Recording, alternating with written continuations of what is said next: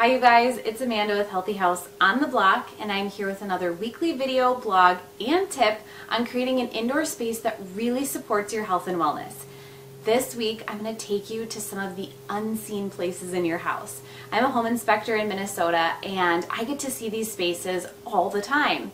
And what I started to see when I first started out was a pattern that a lot of times there's a door on some of these areas in our home, like our basement, a crawl space, a utility room, or our attic.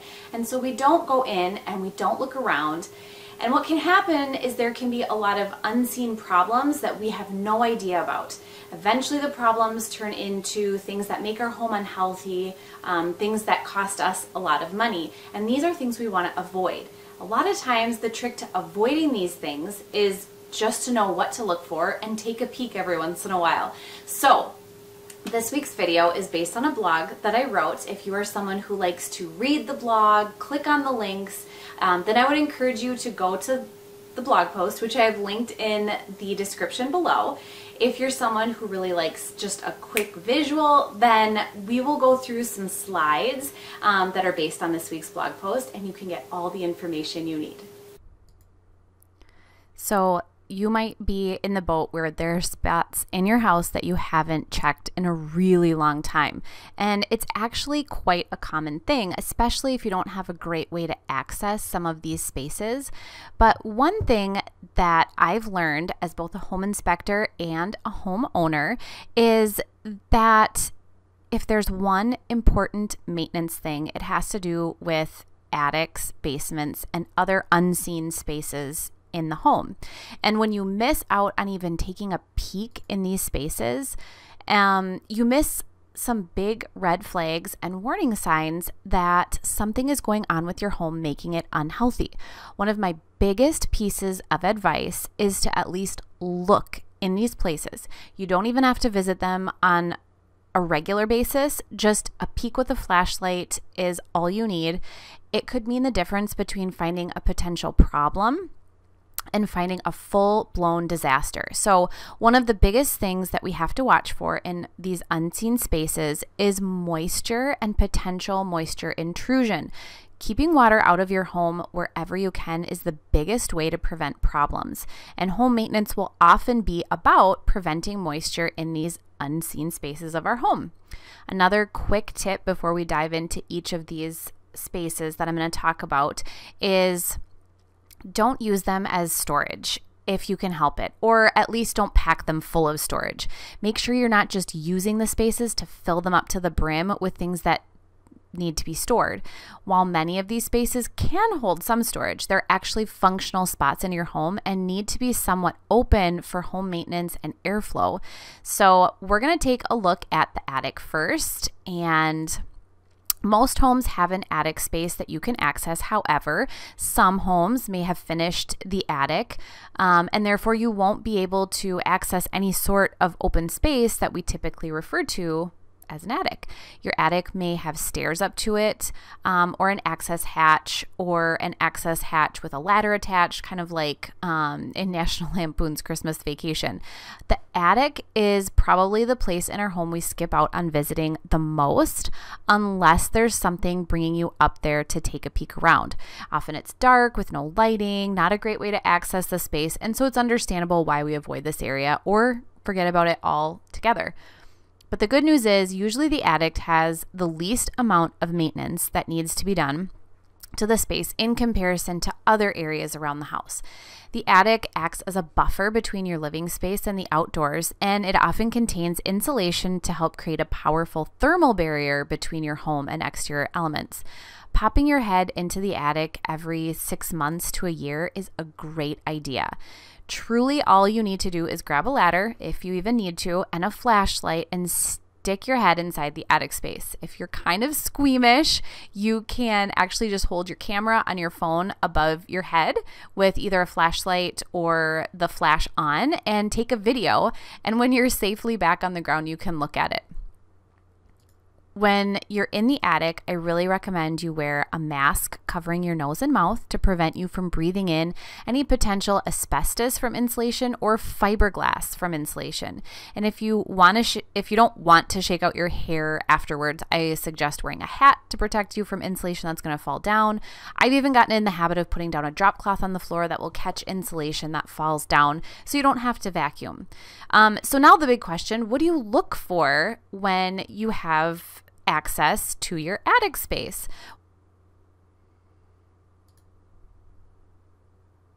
Besides moisture intrusion, um, the other three things that you want to look at are the first one is going to be evidence of animals, rodents, or insects. And this is probably the biggest reason most of us avoid the attic. No one wants to come face to face with anything that's made a home inside the attic. But to be honest, this is more rare than you think. If your eaves around your house are sealed properly without big gaps or rotting wood, rodents, animals, and insects generally won't be able to get into your attic space. Um, Simply check around for evidence of burrowing in the insulation, which can indicate rodents. You'll also want to check to make sure you don't see wasps' nests or other insect homes around the corners of or around the peaks. Um, if you see any droppings from animals or insects, you'll want to do some maintenance to the exterior to seal up your space and then some maintenance to the inside of your space to get rid of your visitor. Um, you can either DIY this or call in a professional. The next thing that you want to take a look at or watch for is daylight showing. Um, when you look into your dark attic, are you seeing daylight peeking through around vents or around joint connections? Because if you see more light coming through than just the main part of a passive vent, you want to have the area sealed up.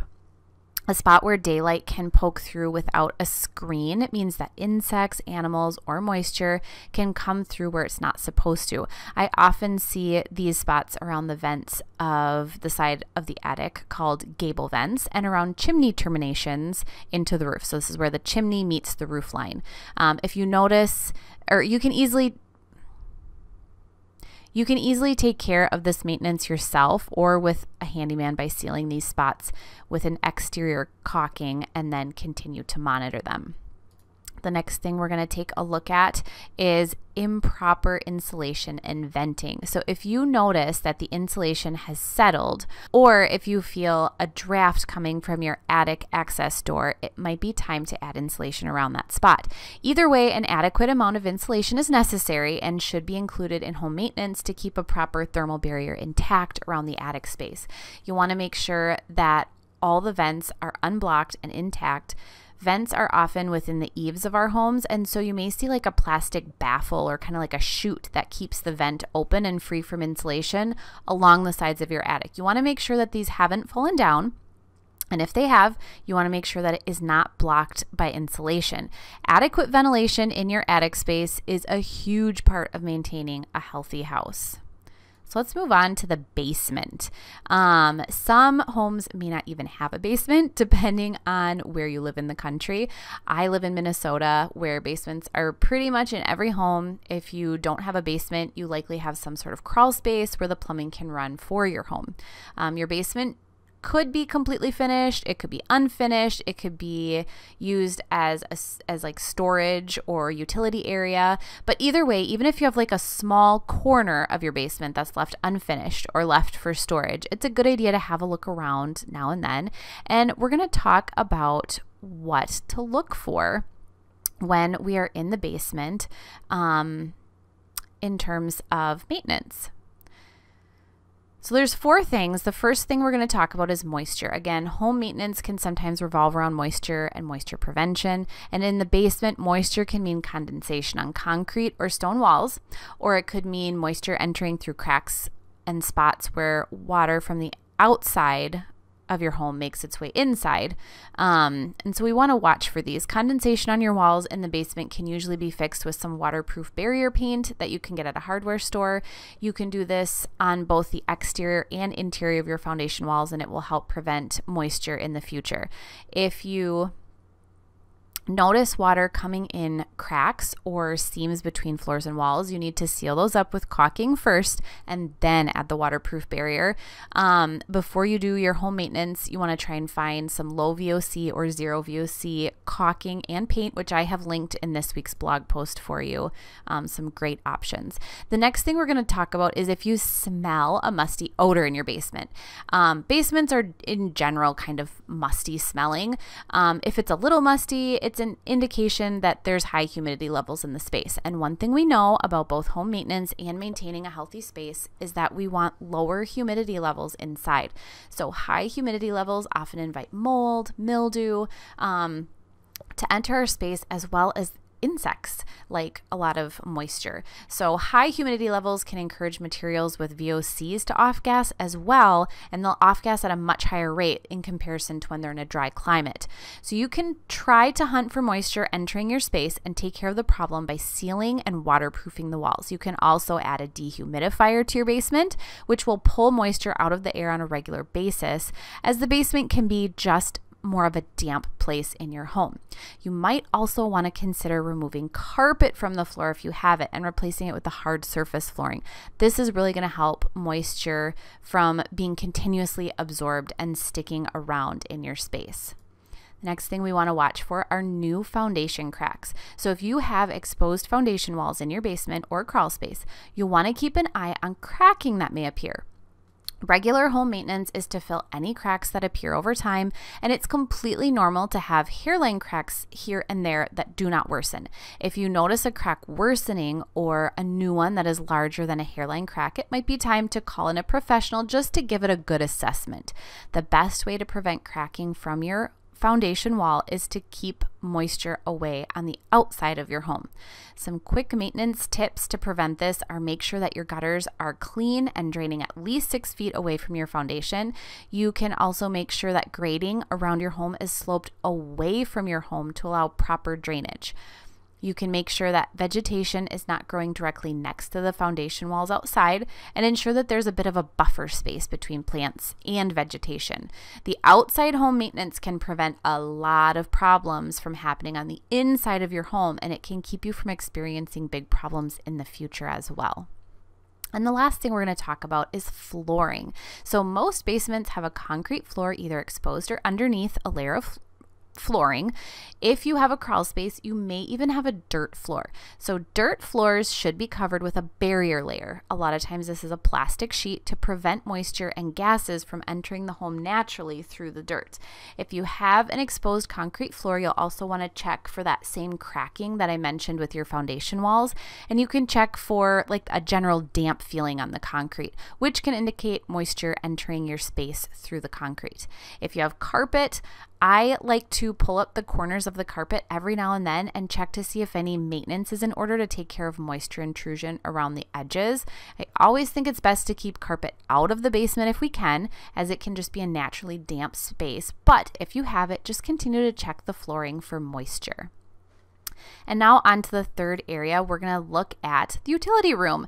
So typically, um, a home will have a space that is devoted to utilities. Sometimes it's in a basement, sometimes it's a closet. Um, you might have just a corner of the basement, you might have um, them in your garage or a closet outside. Typically, if there's a room devoted to utilities, you probably won't be visiting it very often. Um, and so you have to really think about the maintenance that has to be done these rooms can get forgotten about, and unfortunately, they can have problems that arise without us even knowing it. So, one tip that I really like to tell people is you can either leave the door to the utility room open as a reminder to check in every now and then, or you can add a calendar reminder to replace your filters in your furnace or AC, and it's a good reminder to go in and do a visual check. So, what do we need to look for in the utility room? First and foremost, because it has all of our utilities, we want to look at venting. So, venting from appliances that use natural gas, like furnaces, water heaters, should be completely sealed with no holes and no worn areas. If you notice a hole or an area that is either worn um, or open, in any place, that means that combustion gas can escape into your home. You'll want to call someone to repair it right away. The gas that is expelled from the heating process in these home appliances, like I said, is called combustion gas and should be carried directly out of your home. Some newer appliances actually use PVC piping for this rather than metal venting. And this is a safer option. When gas is allowed to seep back into our space, we can be exposed to carbon monoxide, which is extremely dangerous and can be deadly because we don't notice it and it doesn't have an odor. Um, the next thing we want to check is the furnace and boiler. So, if you have a furnace, it's a great excuse to head to your utility room to change your furnace filter. Other than that, there isn't too much to check on except to make sure that the appliances are working and that there are no leaks from condensate lines or piping. So, just a quick visual check of these two should suffice. I also like to recommend getting a tune up every two years to ensure that the appliances are, in fact, working well and that there are no problems going unnoticed. I think it's better to be preventative here than to wait until there's a problem. So, do you know where your main water valve is? Because I think so many times it's hidden in a closet somewhere or in a place that doesn't get checked very often.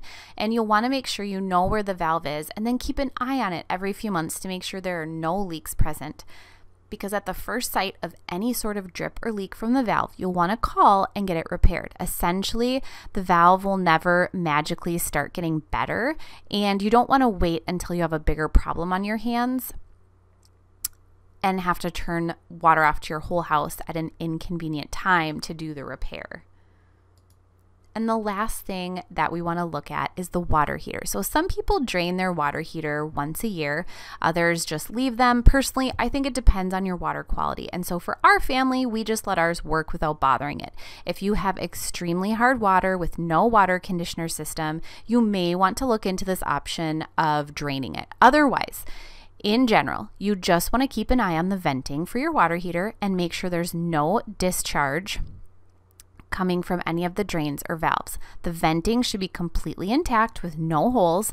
Disconnections or worn areas, just like the furnace, need to be addressed. And finally, if you see water coming out of your water heater underneath, it's time to start shopping for a new one and getting it replaced. You don't want to wait until this becomes a big headache. It's much better to deal with it right away when there's a small leak um, as opposed to when it's not working at all.